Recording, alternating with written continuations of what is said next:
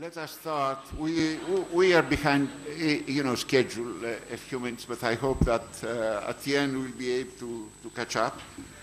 And uh, now uh, we have the honor to have Professor Kaushik Basu uh, talking on a very, very interesting issue. The title of his presentation is The Origin and Impact of the Global Financial Crisis on Poverty and Capability in the Eurozone. Well, uh, most of you know Professor Basu. He's uh, Senior Vice President and Chief Economist at the World Bank. He is on leave from uh, Cornell University, where he's uh, professor of economics. And uh, it's very difficult for me to make uh, even a short presentation of his career and his work from a CV of uh, 25 pages. I had many, many difficulties in selecting parts of his career uh, or of his publications. He is a fellow of uh, the Econometric Society, has published widely in the areas of development economics, industrial organization, game theory, and welfare economics. I tried to count the books he has published or edited. I ended up with 25 and about 200 uh, articles and papers. Uh, I would suggest, however, that uh, all of you should read his most recent book on Beyond the Invisible Hand. This uh, a fascinating book. Uh, I re- I'm, I'm, reading the book now and I'm really enjoying it. So, uh, uh, I am very, very anxious to hear Professor uh, Basu talking about the, the, the, impact of the global crisis in, in in Eurozone. And from the abstract of his paper, I thought that it was written particularly for Greece because huge increase in unemployment, immigration of the most talented people, poverty is going up, and of course his remark that if we take as a benchmark not the median income during the crisis, but the before the crisis level benchmark for, for poverty, then uh, that percentage in Greece, with some uh, calculations made by my, my colleague at the University of Athens, Athens Kaplanoglou, may be now with the most data in the area of 35 to 40 percent. So, Professor Basu, uh, we are waiting for your uh, very, very interesting presentation.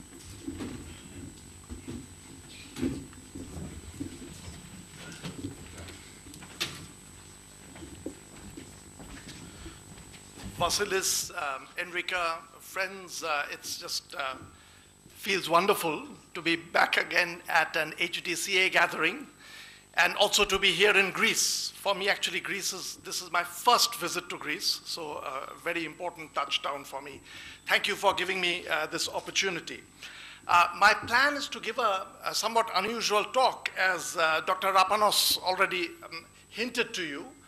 I am going to combine my um, recent experience, very much in the sort of hands-on policy world, with some more micro foundational questions and impacts.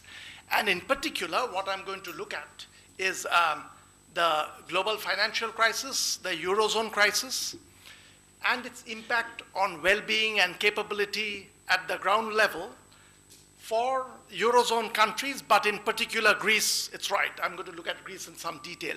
And I have to say that for me, there was some revelation when I started burrowing in, because most of the discussion of the global crisis takes the form of uh, the macro figures. You look at the growth rates, you see growth rate dropping one year, two year, in the case of Greece, six consecutive years of negative growth rate. And of course, you're very concerned about that. But once you begin to burrow in and see what that's doing to the standard of living of ordinary people, what that's doing to the distribution, to PISA scores, how are they doing in their maths performance, you get a shockingly greater revelation of what's going on in the, the, those micro details. And I feel somehow, because the discourse in economics is so separated between the macroeconomists with macro policy concerns and microeconomists with welfare concerns, that there has been too little attention paid to these two sides. Um, just to put the so final uh, cards on the table on the um, um, economy of Greece, generally, as you in this audience, all of you will know, it's been six very, very difficult years the forecast coming around from Bretton Woods organizations, and here is that this year, after six years of negative growth, uh, you will probably see a positive growth, a small one, 0.6% growth in GDP. And during my last three days uh, here, uh, I've been doing an intensive survey on the Greek economy with various taxi drivers uh, all over uh, one warning with that is that Greek taxi drivers I discovered when they converse with you, they turn their head fully to look at you and uh, talk. Extremely disconcerting, but from the skill with which they drove, I think they have a side vision because uh, they never deviated from that. But it was very, very evident that uh, all of them were talking in terms of uh, the customer level uh, has gone up. They are being hailed all the time. Many of them were actually very, very well versed on property prices.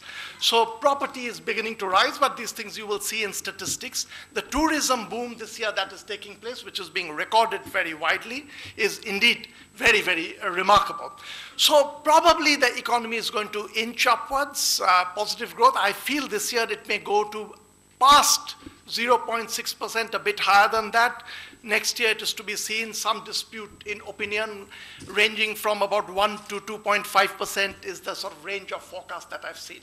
That's the sort of broad macro picture. What I plan to do here on is give you a description of the crisis coming on. And the reason I'm giving this to you is there was for me a lot of learning since I went into the policy world, mainly macro policy world, starting from very micro-theoretic research. And there was a lot of the language of macroeconomists did not make sense, so I had to decipher things for myself. I'm going to give you a brief picture of the global crisis, how it came on, what we understand about it, and lots that we do not understand. And then burrow in and look at the uh, welfare impact. So with that, let me move on.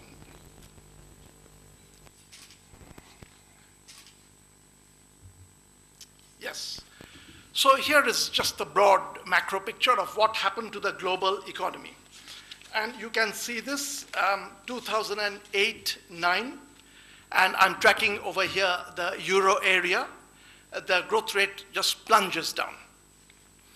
Things that happened before that, and I will go back to that a little bit, is um, starting actually about two years before that, from 2007 and blowing up in 2008, was uh, the subprime housing crisis in the United States.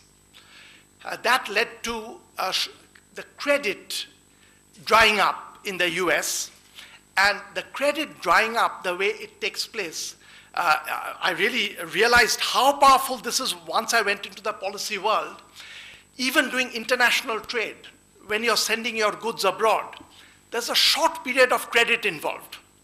Either the buyer, a person sitting in New York who's buying Indian goods, pays you in advance before getting the goods, or uh, you send the goods in advance and then wait for the payment to come. So there is a short bridging period during which you need credit.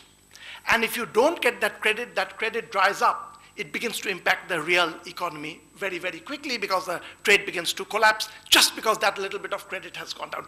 And I have to say, when the crisis first began, and that time I was at Cornell, very much in the world of research.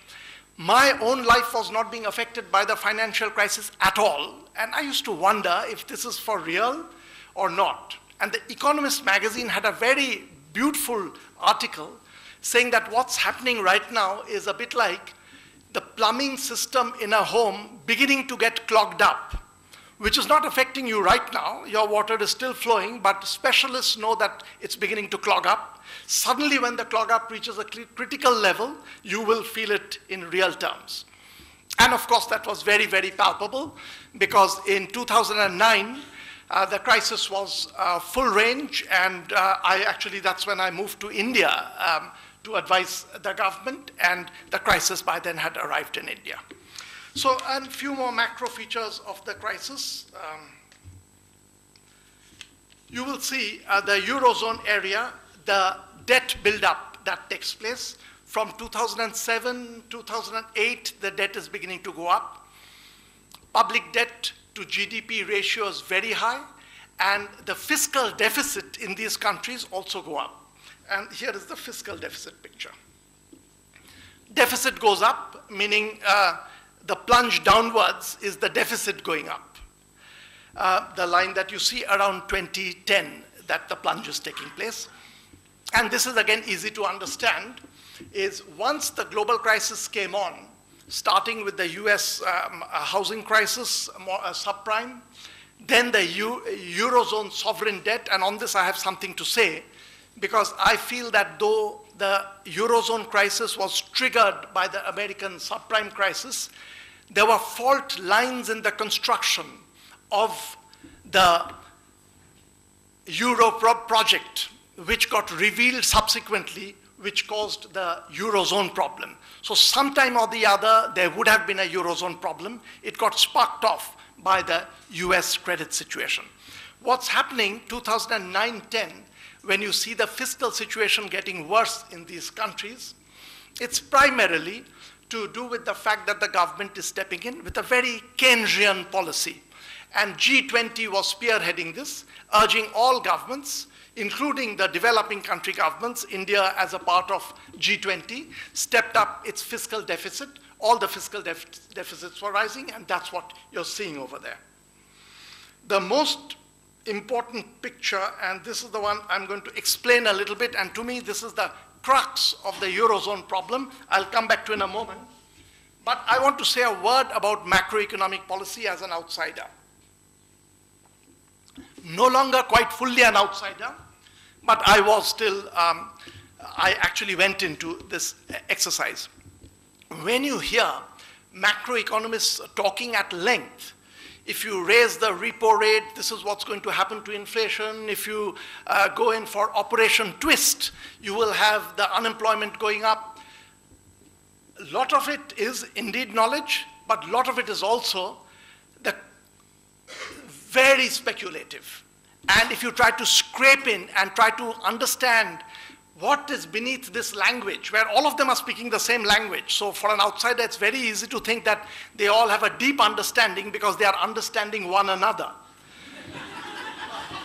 but actually, very often they don't. And I think I have enough economics to feel that this is just a common language of the profession, so they understand one another. It's a bit like astrology in the 17th century. People conversing would follow one another, outsiders would feel very left out they are not, that they are not following. And we know in retrospect that they were, maybe they were genuinely feeling that they've got some deep knowledge of the movement of the stars and life, but in retrospect we know that no, they did not. Macro is a mixture of these two. Uh, uh, there is a lot of knowledge, but there is also a lot of speculation. And I'm not saying that this is actually done deliberately at all. If you're a part of that world, this becomes the language that you're speaking at all times. Deliberately, I have to tell you, uh, uh, cut with one digression. I've had one relative in my uh, family who was an astrologer, an uncle of mine in Calcutta. And he, on his wall, had a very proud letter displayed around 1960 61. This was from President Kennedy congratulating him for correctly forecasting using his astrological techniques about President Kennedy's electoral victory.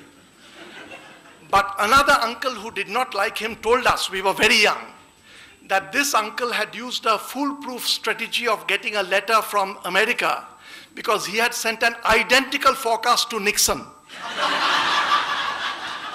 so, no matter what the outcome of the election, there would be a letter on his wall. Now, I'm not claiming it is that with uh, um, uh, astrology or for that matter with a lot of macro monetary policy, but I have to tell you, which I do believe, that a part of this is the profession's common language and uh, many of these policies work, but not because there is a deep understanding of what the repo rate does to prices or the unemployment, but by evolution. If you keep using rules and certain policies, the bad ones fall out over time.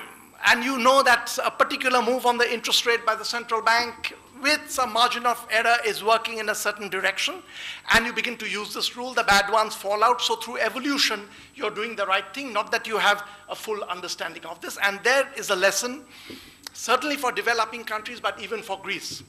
Most of our macro monetary policy, the things that we do, are really lessons taken from the Bank of England, from the US Fed, you, you know what they do when there is inflation or where there is, when there is unemployment. But I feel these policies need to be nuanced much more for your local context. This India that I know very well, I feel that there are situations where we don't want to move the same way that Fed would move with an inflation raging because also today's world is a small world. One country's monetary policy impacts another country. Most developing countries are policy takers. The big countries make their moves their policies impact on you. So they are very differently placed from the big countries, and their policies need to be more experimental and different, and that has to be kept in mind. Come back to this figure now, and the fault line is very interesting to see. What you're seeing in these graphs, you don't need the details.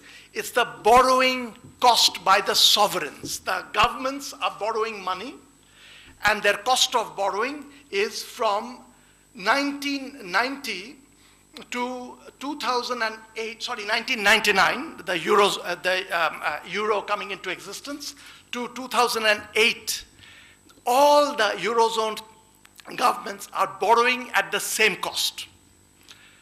Then something happens in 2008, and the borrowing costs just open up.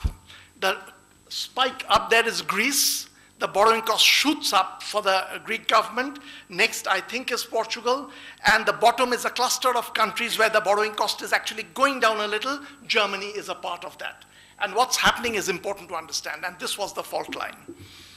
With the construction of the Eurozone, there was a sense that now that it's a monetary union, whoever you lend to, to Greece or to Germany or to Spain, it's a union that is borrowing your money. And so the risk is the same.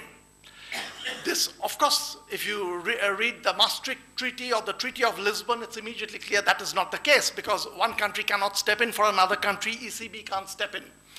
But these are matters of psychology. You treat the whole group as a union, so it's equally safe. And the lending money to Greece, to Portugal, to Germany, to France, you treat as the same, and the line is remarkable. Up to 2008, all of them borrowing at the same cost. Once the trouble started with the United States, a realization came about that, look, the way the Treaty of Lisbon is written up, and before that, the Maastricht Treaty, is that this is a monetary union, this is not a fiscal union. It is possible for one government to say that we will not be able to pay you back your money anymore. Uh, I've borrowed from you, but I can't pay you back. Uh, uh, it's my responsibility, and the ECB need not act and other parts of Europe need not act. As soon as that realization comes, the borrowing costs of governments open up like a, one of those fans with a common stem and then opens up totally. And this precipitates a crisis also for the following reason. From 1999 to about 2008, all these governments were borrowing with this very low cost of borrowing, which means they were over borrowing. And indeed, part of the rapid growth that you saw, Greece was growing very rapidly, you must remember, in the early years. Part of it is genuine, it is catching up with the rest of Europe. Part of it is also that there is an artificially low borrowing that is going on. So the crisis comes, the debt builds up, and the crisis figures you already saw from 2008. The um, GDP growth is plunging, the debt is building up, fiscal deficit is very large. These countries are on their own. The good news is that this fault line, which got discovered subsequently, now there is a understanding across the board. A banking union, there is effort to bring about a banking union. Very feeble effort, I have to say. The um, uh, resolution mechanism that is being talked about, to me, it's too small. 55 billion euros is not a large enough packet for such a big region, but at least the moves are in the right direction, so there is some hope. The fault lines are understood. But, you know, the construction of the Eurozone is such a big, deliberate construction by human beings. Earlier, all the innovations you think of, little bits of money happening, changing in credit card system, most of these are small innovations taking place and spreading through the world. Eurozone is a deliberate construction. And it's not surprising that some flaws will show up, and there will probably be other flaws that will show up, but there is hope now that there is understanding. But we have to put the understanding into action. One tiny bit of theory I will inflict you and move on. Uh, this is a work that I've done, uh, but with one picture I'll be able to explain to you. Credit, when it begins to dry up a little bit, you get this massive drying up that takes place. So credit shortage occurs. The details of this I will not go into through the um, uh, subprime crisis in the United States. When the credit begins to dry up a little bit, suddenly you get credit almost vanishing. Why does that happen? This is important to understand, and this is a little bit of micro theory I will inflict on you. If you allow for a, this is the supply of credit. Um, the vertical axis, which if I can move this picture down without having it disappear altogether, yeah. Yeah, it's a interest rate and the total amount of credit. Our usual supply curve when we draw, it's an upward sloping line. But with a little bit of algebra, very simple algebra, you can show that if there is a product where you take your decision based on other people's behavior.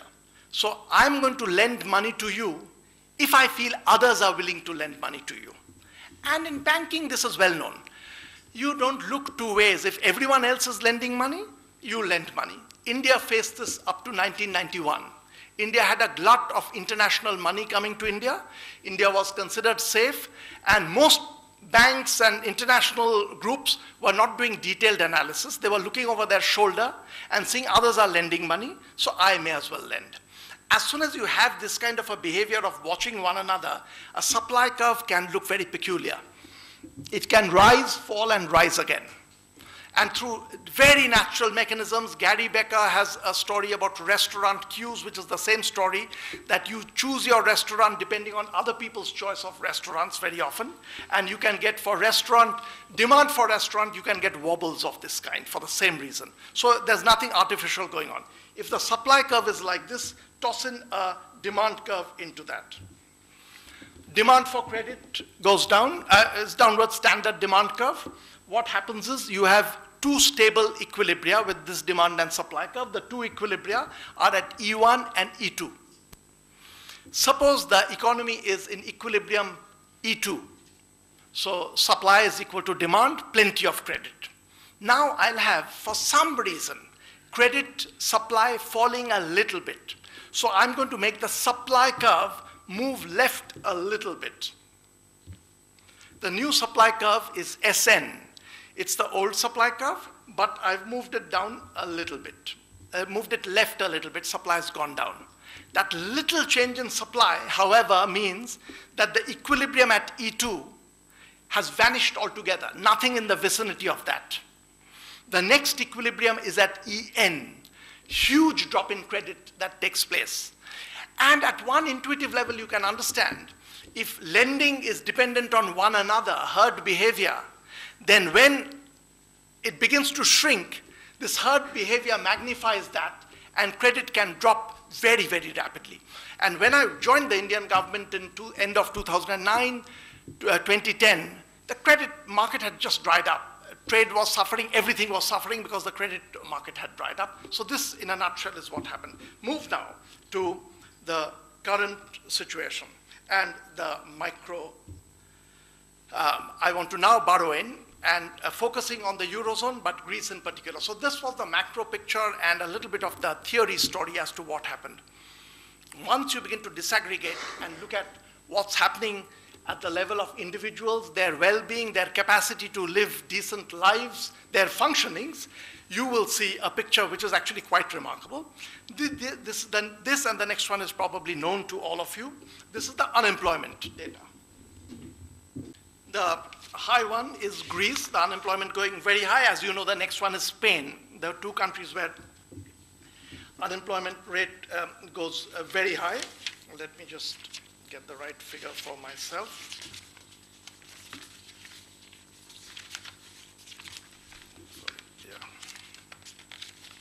Yeah. Um, Unemployment is picking up in all these countries. So as you saw, the growth rate uh, drops off, and as the growth rate drops off, unemployment picks up in all these countries, and unemployment is going just very, very high. 27.5% Greece, 26% or so for Spain, and, it's, and these are for people who are looking for jobs. There could be people who are not even looking for jobs, they are giving up. In the United States, that's been dominant. One more underlying feature of this unemployment has to be pointed out is, um, I don't know the details of the Eurozone, though I think it's very similar. Of those who are unemployed, long-term unemployed, in Greece, I think you use a year as a long-term unemployment. In the United States, you use six months as long-term unemployment, has become disproportionately large. And that typically there's enough micro-study to show it causes erosion in skills. So there's probably some erosion in skill taking place, which is going to have very long-run effects on the United States economy, on economies over here, if of the unemployed, some people are unemployed for a very long term, their, some of their job-related skills begin to go down. Another disaggregation of this unemployment is youth unemployment, which is just astronomically high. It's over 50% for Greece and Spain. So again, this is talking to the same thing that I said. Newcomers are finding it difficult to break into this. And if you spend too long a period without work, it does do some damage to your productivity. There is another category that is used in the Eurozone called NEET youngsters. I don't know if you're familiar with that.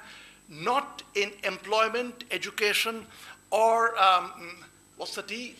Training. Employment, education, or training. Uh, that proportion has also gone up, people who are not in any of these categories. I prefer the term NEET to what we use in India. We call them nowhere young, youngsters. Those who are not in employment nor in education, the Indian official data will describe them as nowhere youngsters. Over here, you describe them as NEET uh, youngsters. That proportion has also gone up. So they are not in education, they are not in employment. So this has long run implications. Poverty. I'm giving you the official figure. This is what's happening on poverty using the way poverty line is done here, which is, uh, let me just explain. You take the 60% of the median income as the poverty line, and the top part of the graph gives you what's happening to the poverty line itself. And you can see that from 2010 to 2012 for Greece over there, the 60% of the median income, that line has gone down which means, of course, the median income has gone down. So the poverty line has gone down simply because the median income has dropped. And you know, it's a pretty sharp drop in the median income that has taken that is taking place. Drop down to the lower figure, and you will see what's happening to the actual poverty and concentrate on the line on Greece. In 2010, it is about 20% who are poor. In 2012, two years later, this was a very difficult uh, time for Greece, it is 24% of the people are poor. So from 20% to 24% in a two-year period. But this is a bit deceptive in one way. Over here, the poverty line is what it's supposed to do. It's a relative poverty line. So it's 60% of the median in each year. But given that that poverty line is dropping, what you could do is go back, hold the poverty line where it was, and then recalculate this, and you will find that poverty has gone up to over 30%. This is the figure for that. Poverty is actually 33%, 32.6% uh, is the poverty. If you freeze the poverty line at the 2009 level. So do you get it? What's happening is that if you take the relative poverty line, poverty is increased. But if you hold the poverty line constant, it's increased even more because the country as a whole has lost, something, but if you don't make allowance for that, the poverty has gone up quite a bit. So this is the story in terms of poverty and the youth being hit in terms of employment. Okay. Um, this is the NEET figure that I told you, which in uh, Greece, in the case of Greece, there's a sharp deterioration in uh, youngsters who are not in employment, education, or training. Yes. Yeah, okay. Interesting little sub-themes where The causalities we do not know. In fact, I generally have great doubts about any statement of causality. Causality in the end is very, very difficult to get a handle on. For this one, even more so about causality. If you look at the PISA scores uh, for reading mathematics and science, in the case of Greece, for all these three, between 2009 to 2012, there is a worsening of performance taking place. This is just educational performance. This is the deepest period of the crisis. Now, it's possible that many other things, of course, drive these scores, but it's also possible it's connected to this because there was another piece of information for Greece which is very important. I hope I'm getting the figures right. It is that um, if you take the children, of all the children, meaning from 0 to 17 years old, living in households where no one has employment. This used to be 3.6% in 2008, and by 2011 or 12, uh, it's the figure I can give you exactly, it's 12.6%. So dramatic increase in children living in households where no one has employment. And you know, if you have 12.6% of households where children are living with no unemployed, means your education is beginning to suffer, your what books you buy, if you go for an evening lesson somewhere else, which I'm told there's quite a bit of that, that's beginning to suffer. And the entire household is under stress because no one has employment.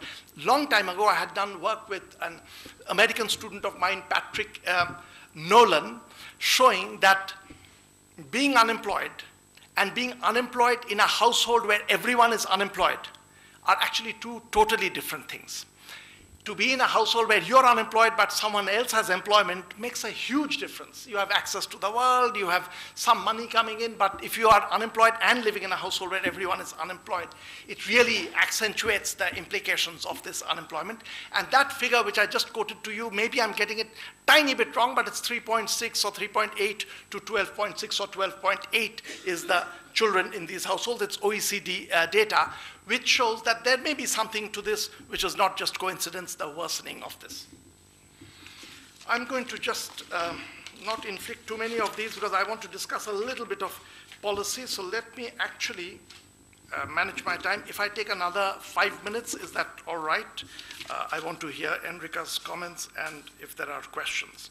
So um, this is what I will do let me actually switch over to a little bit of discussion of policy and what do you do um, in this situation. First, some lessons from a wider um, context is that um, so much of our discussion uh, in policy today thanks to the fact that the global crisis is being handled mainly by macroeconomists with macro concerns, that a lot of it is to do with the aggregates. The targets we are setting is fiscal deficit targets. We are setting targets on aggregate debt to GDP ratio. But as this shows, as this uh, analysis shows, there's a lot happening beneath that to do with the microstructure of the impact to which one of the first things which I feel, and this is where the, I, the World Bank's bottom 40% of society criterion plays a role, is there's been a huge amount of debate on whether to have fiscal austerity or not. I know it's been very, very heated in your country, it's been heated everywhere. But to me, the discussion in terms of whether more austerity or less austerity is rather sterile because it's overlooking the most important thing when you've had a period of excessive spending, some form of austerity has to take place. Who takes the cut is controversial, but some austerity has to take place. But it's the micro distribution of that austerity. Is it the youngsters looking for jobs who feel the biggest shock, or the big banks who feel the bigger shock? That structure needs much greater attention. And it's the distribution of austerity which needs to be talked about, needs to be analyzed, because the same average level of austerity is good or bad, depending on how you're distributing this. Some pieces of work beginning to come out from uh, other contexts, India, Kenya, Michael Kremer's work on Kenya, showing that what kinds of micro interventions you go for can have big implications for fiscal policy. And this is to do with there are certain forms of uh, when there's a problem of well-being and welfare of the poorest segment of a society, say the bottom 40% of a society, this can happen in two different ways. Certain kinds of damages transmit from one generation to another. And if those damages, you allow those damages to happen, then in fact you will need fiscal support for the next 20 years because you've, you've done damage, so you need fiscal support. Whereas if you can direct your fiscal support to areas where it is costly today, but it's going to free people in terms of their productivity, their capacity in the next generation or 10 years down the road, then that fiscal burden is a one-time fiscal burden. And lots of examples of this uh, in different areas. Uh, we know there's this uh, beautiful study by um, Martinson et al. in Journal of Economic Psychology, very well-controlled study, that um, children, this was done for children born, uh, nine months old to two years, nine months old. Over a two uh, year uh, period, for, in poor households where the children do not get adequate amount of the basic needs that they have in Kenya, uh, there would be college, trained college students who were sent, and these were a bit of a, students with an actual zeal, to talk to the children, to get them to laugh and play games, and teach the parents to do that. These students were being sent once a week only to these households. Play with the children, train the parents that you have to interact with these children. Don't just leave these children for two years, from nine months to two years, nine months. The researchers went back to the same children, the same cohort, uh, 20 years later, and the children who had received this treatment had a cut above per capita income than the ones who had not received this uh, treatment. It had done things to the minds of these children to cause a difference in their performance. It's not surprising, we intuitively feel this way, but this is a very controlled study where the same children they visited after 20 years and tracked and got this. There are other kinds of big data uh, numbers that are coming out. There is Raj Chetty's work in the United States showing that if in uh, lower high school you replace a bad teacher with a good teacher. These are all very well defined and again, very well controlled study. For one year, if you bring in a good teacher, this class's lifetime income goes up by $1.4 million. These children will earn more in their life if you bring in a better teacher for that one year, and if you do multiple years, presumably, it won't multiply that many times, but there will be positive effects that are taking place. There are many studies now about these things which play out after a long period. So if the interventions can be targeted in ways where it may be costly today, but it is going to free the government's burden five years down the road, 10 years down the road, even 20 years down the road. After all, it's your own government, it's your own people. Those interventions are much less costly in the long run because you don't have to go in for repeat interventions to support these people, their children, their children's children, if you get these correct notes, for which you have to descend from the macroeconomic perch to do a much more detailed analysis of the microeconomic impact of these various forms of difficulties in life which emerge with a crisis of the kind that Greece is facing, but many other countries are facing. And for that matter, it's worth reminding that for many developing economy, emerging market economy like India, what appears to be a crisis here is a normal life. I mean, uh, worse than a normal life because a whole lot of people live in, of course, abject chronic poverty, so it does not make headline news, but nevertheless, it is very, very important. This, of course, reminds me of Amartya's uh, work on famines and chronic um, um, as, as suffering. The chronic suffering does not get written about, uh, no one makes noise, and you can understand that. Which day's headline in the newspaper will talk about a chronic uh, food shortage problem, so no day's headline says that, whereas a big sudden news, of course, attracts a lot of attention. Um, one more word, and I'm going to stop with that, so literally two minutes, is that um, there are also domains where you have multiple equilibria. I will not go into the details of this. And the, actually the uh, credit picture that I showed, there are two different equilibria in the original picture. Lot of credit, very little credit. credit.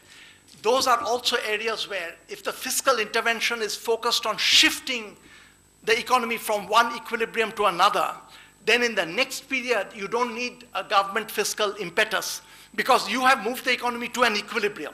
So if an economy has two equilibria, good equilibrium and bad equilibrium, lots of children working, no children working, if both these happen to be equilibria, then when you look at a government program to deflect the economy from one equilibrium to another, you should realize that it's a one-time cost because it's very similar to the point I was making, but with multiple equilibria, you can throw it off there.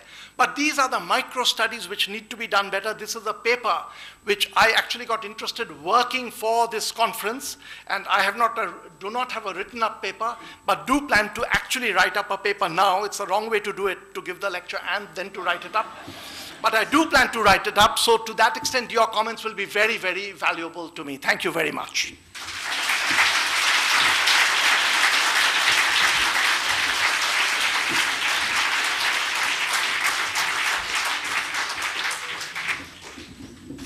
Well, Kaushik, thank you very, very much for your very, very insightful uh, intervention. Uh, before uh, giving the floor to uh, uh, Enri uh, Enrica Chiappero Martinetti, I would like to take a couple of points raised by, by Kaushik. And the first is the problem of credit what really happened in Greece uh, was very, very important because uh, Troika suggested increasing exports, but most exporters, most producers of uh, tradables, exportables, used imported inputs. So the credit period from the suppliers of Greek importers vanished immediately after the crisis. So the producers went to banks for extra borrowing. Banks did not have the money to give them. Or credit letters, guarantee letters of, by Greek banks were not accepted by foreign banks. So this was a very, very important factor that contributed very importantly to the recession of the Greek economy and the reduction in production. This is an aspect that was totally neglected by Troika or other, other analysts. And I was thinking when listening to, to Kaushik, how would be different, if it could be different, if the senior economic advisor of the World Bank was at the IMF. I don't know if this would have made any difference. But certainly uh, uh, he could tell those people that uh, transplanting models and policy recipes from one country to the other may be very dangerous. And to some extent, it happened also in Greece. Anyway, uh, I could take many, many points and comment on them, but we have a very, very very, very good discussion. So I would like uh, to ask Enrique to take the floor. Thank you. Thank you very much. So, as you can imagine, it's quite hard to speak after such a brilliant speaker and or to comment the broad empirical evidence that he shows us. So I would be very grateful if you can be sympathetic with me. And the only chance that I have to minimize the damage is to try to be very, very brief. Um, so as the rich and very inspiring uh, uh presentation clearly shows, the need to tackle with the risk exposure of vulnerable people to negative and persistent shocks is clearly shown by the impact that the recent economic and financial crisis is having in terms of losses of opportunities. This holds true for all generations, but is especially alarming for young people, as you also show, who are experiencing some of the most profound hardships, in particular in the labor market sphere. Despite the relative high investment in education for the younger generation, many European countries, uh, in many European countries, young people are more exposed to vulnerable living conditions and precarious labor market uh, positions, and have definitely less opportunities compared to their parents. This is something that the human capital theory is not able to explain how, how this is possible or how why this happens. In the European Mediterranean countries, the youth unemployment rate is higher than the total unemployment rate, sometimes more than twice as high. It rises faster, and the duration of youth unemployment is also steadily increasing, becoming a persistent trait.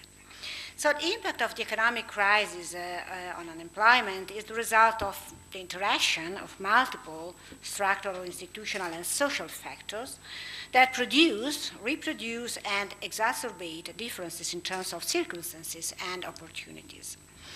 These differences are, in fact, even more evident once you are going inside the box and looking to the international regional inequalities as well as for your concentrating the attention to some specific subgroup of population. For instance, you didn't include Italy in your uh, the set of countries that you were uh, presenting, but of course, Italy is a pretty similar situation like Greece or like Spain, particularly in terms of youth unemployment rate. Uh, so if you look at the youth unemployment rate in the age of the age range of 15 24 years uh, we have values, rates that are close to 39%, which are amazing, but there can be also above 50% in the south and can reach something like the 60% when you are focusing the attention on low educated women in the south. So it's simply unbelievable.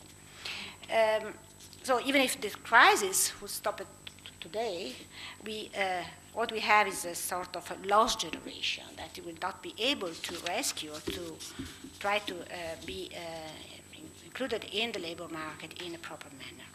So mainstream economics does not seem to be able to provide a full account of uh, these uh, complex facts. So I have two points that I would like to raise to your attention, Kaushik, uh, uh, because the title of your presentation was aimed to describe and to discuss these figures in the light of the capability approach, particularly in terms of the consequences that these figures or these facts can produce in terms of capabilities. So the first question is uh, how is a question not just for you but for the whole community, because I think that we need to have an agenda for future research on this in this sense. So the first question is how the capability approach can effectively contribute to highlight these elements of complexity, to identify these uh, multiple causes, and to help us to investigate the plural consequences that the economic crisis already produced is still manifesting, is still producing, and will generate in the near future, particularly for the most vulnerable group. Um, I think there are two main elements of distinctions that can guide our research. The first one is the clear shift from the idea to representative agent to the knowledge of human diversity and the importance of taking into account individual characteristics, heterogeneity of context, and how these plurality of factors combine and interact each other uh, generating basically different circumstances and therefore different opportunities, uh, which is a, this is a surely a distinctive, distinctive feature of the capability approach. I think that really this is an important value added for us. Uh, this also suggests that it's important to go well beyond the averages and to refine our analysis in order to be able to describe this complexity and to investigate on this uh, complex relationship. So there are concepts such as horizontal inequalities, intersectionality, conversion rates that are already well elaborated in our disciplines and uh, more and more in, often included in our conceptual, uh, conceptual and empirical analysis. So I think that this is a good direction in order to have a better understanding of this phenomenon. Uh, the second element of distinction that I can see in the capability approach is that this shift from a simple money metric view toward a multiple dimensional perspective, and the special attention paid to the interrelated dimensions of human well being. Here again, uh, a remarkable attempt to formulate composite indicators or composite indices of poverty and well being, or to elaborate concepts such as corrosive disadvantages, are just few examples of, of how the capability approach can contribute to this debate. So there is a lot of potential on this regard. Uh, but the second question that immediately raised in my mind is how and to what extent the capability approach is actually able to play an active and effective role in the current policy debate and can contribute to design national policies or to set up a European agenda, which is aimed to preserve, enlarge, promote human capabilities. Again, in the, if you look at the, the, recent years, the most recent year, the last decade, an increasing attention has been paid to the capability approach in Western industrialized countries. Uh, after the Sarkozy Commission with the Stiglitz-Sen-Fitoussi report, broad discussion, a broad debate has been uh, now currently, in, currently developed in Europe. Other interesting experience uh, uh, conducted in Europe, like the Equality and Human Rights Commission in Britain, or many national government uh, reports on poverty inequality, and well-being in uh, European countries, are clearly uh, inspired by or designed on the basis of the core principles of the capability approach and been able to show us that is again there's a lot of potential in trying to address the issues in a um, better and a much more complex manner.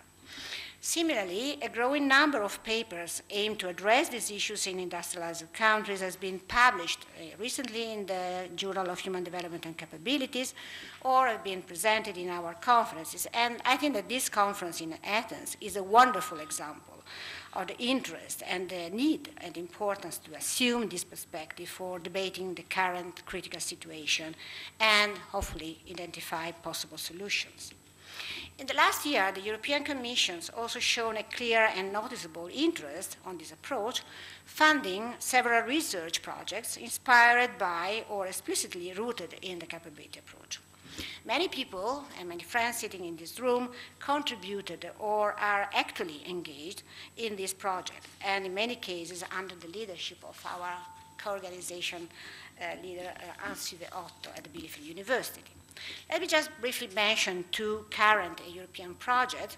One is led by Anne Stuve. The name is, uh, is called Society, Social Innovation, Empowering the Young for the Common Good, and is uh, exactly aimed to re-examine the concept of disadvantage and inequalities, plural, through the lens of the capability approach, to identify personal and contextual factors that can determine disadvantageous conditions and unequal opportunity, particularly for young people in the capability and in the functioning space.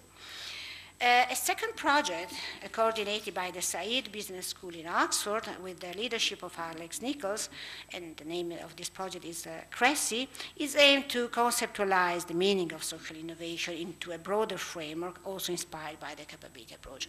So it seems to me that now there is a new and uh, growing uh, um, debate in Europe uh, all these initiatives, in fact, the conferences, research projects, uh, papers, and um, books that have been recently published represent an interesting and important step and are strategically crucial for bridging our perspective into the European debate.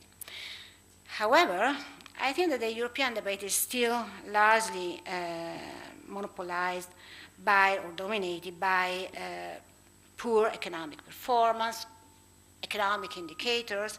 And it seems that, particularly in this time of crisis, the attention is very much concentrated on this aspect, and probably not enough on the consequences of these empirical and economic facts in the future, in the present and the future generation.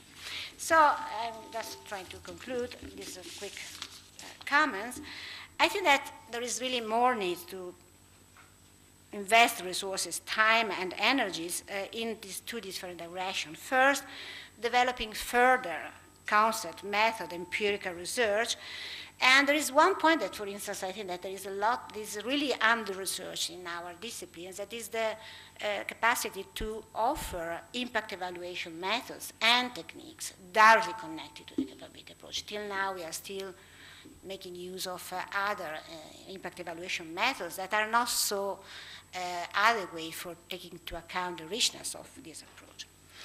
And this is, of course, is something that refers to our individual contribution, the contribution that each of us as a researcher or as research groups can offer on this regard. The second point uh, is that is something that again is pertain to our uh, action, but I think that there is also room for something that refers to our academic community, namely our association, is to try to foster a little bit more the European debate and driving more, a more capability-oriented direction in, on this regard. So again, I think that it would be, I would love to see in other conferences like this one that is able, that are able to try to to set up an agenda, or at least to, uh, to have a, um, an active role in setting up a European agenda which is able to preserve and promote and enlarge uh, human capabilities. Thank you very much for your attention, and thank you to Kaushik for your speech.